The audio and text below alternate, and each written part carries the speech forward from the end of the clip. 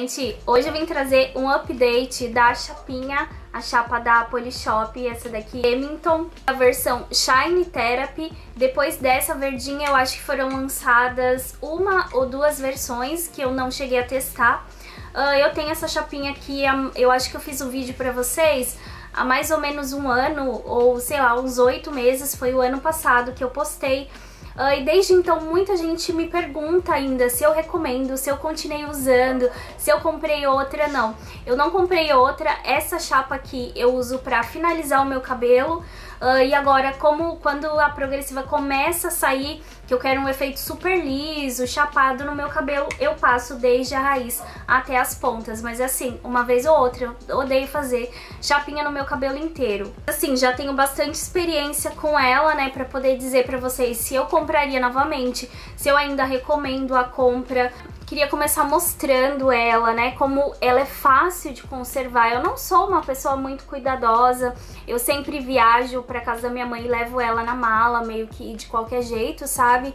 E ela fica guardada ali, eu tenho uma caixa no banheiro, eu coloco secador, chapinha, tudo junto. E eu fiquei impressionada porque ela ainda tá muito conservada, né? As placas estão perfeitas, então ela tá toda assim muito bem conservada, continua funcionando do mesmo jeito.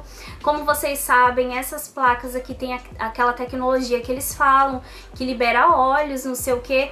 Uh, no começo, assim que eu comecei a usar ela, não sei se por causa do, dos óleos, é, quando ela esquentava ficava um cheiro estranho, sabe? Parecia algo queimado como se fosse óleo queimado ali. Eu nunca senti assim, nossa, passei a chapinha no meu cabelo e saiu óleo. Não, não é bem assim. É, é uma tecnologia que eu acho que só eles mesmo para conseguir explicar. Hoje em dia eu não sinto mais esse cheiro, sabe? Não sinto. É, eu gosto dela porque ela é, não é daquelas chapinhas que você passa e o cabelo sai fumaçando, sabe? Ela não, não sai muita fumaça. Isso me dá um certo conforto em usá-la, né? Eu disse pra vocês, naquele primeiro vídeo que eu vou deixar linkado aqui pra quem não assistiu, eu falei pra vocês que sentia falta da minha Taif Turmaline, que era a minha... Uh, chapa de cerâmica, essa é uma chapa de cerâmica, não é uma chapa de titânio, tá? Chapa de titânio a gente usa só para processo de escova progressiva, não pode ficar usando todo dia, usando para finalizar, usando para fazer caixo, não pode porque danifica, ela é uma placa própria, sabe, para é, atingir o calor máximo e selar ali o cabelo no processo de escova progressiva. Da mesma maneira que essa daqui de cerâmica não pode ser utilizada. Ai, Joyce, mas eu tenho e eu quero utilizar, daí é um problema seu, cada um faz o que quer com as suas coisas, mas ela não é indicada para o processo de escova progressiva, mesmo porque essas placas podem danificar. Como eu dizia, no outro vídeo eu tinha falado que sentia falta da antiga chapa de cerâmica que eu tinha, que era a Taif Turmaline modelo antigo. Da, da, o antigo ele era grosso, assim, a chapa era mais grossa que essa. Uh, saiu de linha e agora eles têm um modelo novo. Não sei se é tão boa, eu só tive o antigo durante quase 10 anos, sei lá, e eu só me desfiz dela porque ela caiu no chão e a placa caiu. A placa simplesmente soltou, não tinha mais o que fazer, então eu tive que comprar outra. Não dizendo que essa daqui não tem a mesma qualidade, mas essa aqui, ela não dá tanto brilho no meu cabelo quanto a Taif Turmaline dava. A Taif era um negócio de louco, passava assim, uh, vinha aquele brilho, sabe? Muito top aquela chapinha. Ainda quero comprar essa versão nova, até pra comparar com essa daqui, acho que vai ser interessante, né? Mas por hora, o que eu tenho assim comparando as duas a dizer é isso. Essa não dá tanto brilho quanto a Taif me dava. Mas de resto, assim, ó, não sinto que quebra meu cabelo, não sinto que resseca as minhas pontas. Quando eu tenho que alisar bastante o meu cabelo, a raiz alta, não sei o que, quero igualar, né? Porque às vezes fica o comprimento liso uh, com a raiz autona. Então eu sempre uso ela na temperatura de 160 graus, ela vai de 150 até 230, tá? Eu sempre uso nessa temperatura, 160 graus, porque eu acho que é muito gentil com o cabelo, sabe? Tem que passar um pouquinho mais de vezes ali pra alisar, mas eu acho a temperatura, assim, ideal pra não danificar o cabelo. Já usei ela na temperatura mais alta e, assim, uh, usando a temperatura mais alta, o bom é que tem que passar menos vezes pra já ver o efeito liso, né?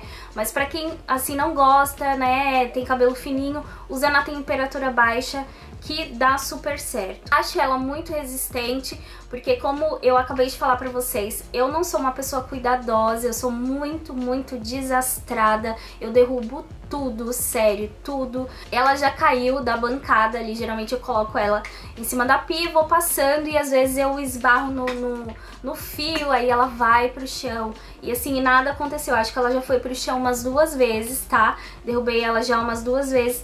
E assim, muito resistente, resistiu, igual a minha Taif, né? A Taif, meu Deus do céu, ela tinha 10 anos, Quantas vezes ela foi derrubada, eu perdi as contas, até que derrubei ela uma última vez e aí, de fato, ela faleceu, perdeu a vida, coitada. Eu acho que esse negócio do brilho que eu sentia com a Taif e não sinto com essa tem muito a ver com a placa.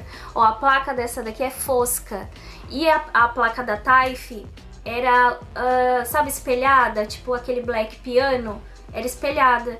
Eu acho que isso que fazia diferença em, em selar e refletir brilho, sabe? Por isso que eu quero comparar, quero comprar alguma outra aí de cerâmica, mesmo que seja Taif Turmaline novamente, que tenha essa placa espelhadinha. Não sei se vocês conseguem me entender do que, que eu tô falando. Sabe aquele preto black piano? Aquele fica meio... Uh, quando você olha assim, reflete. Essa daqui não reflete, é fosca, tá vendo? Chegar aqui pertinho. É uma placa totalmente fosca.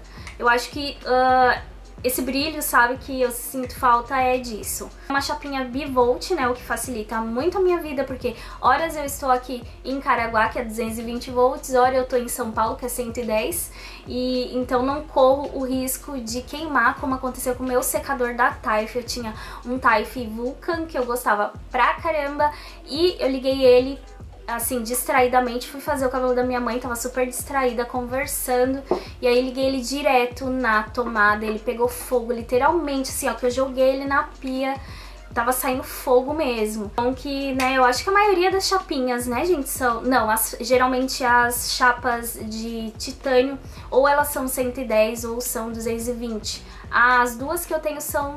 Não, eu tenho uma 110 e uma 220, tá? Então eu tô super satisfeito, eu acho que ela dura bem. Ainda não tive maiores problemas. Se você comprou essa chapinha e teve algum tipo de problema, deixa aqui nos comentários, porque como eu sempre falo, a gente se ajuda muito aqui nos comentários. Às vezes eu tenho uma opinião, vem uma pessoa com uma opinião contrária, que pode servir muito para outra pessoa, eu sempre deixo livre.